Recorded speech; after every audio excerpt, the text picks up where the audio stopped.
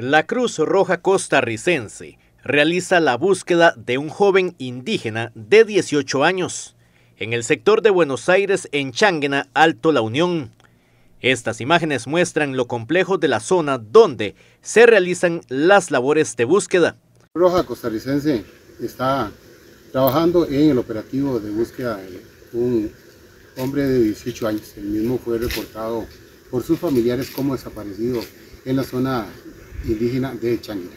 El día de hoy, eh, nuestro personal eh, hizo recorridos por el sector de La Casona, eh, Caño Bravo, Paraíso y Cerro Angustiana y terminamos en lo que se conoce como Cerro Cuatro Cruces.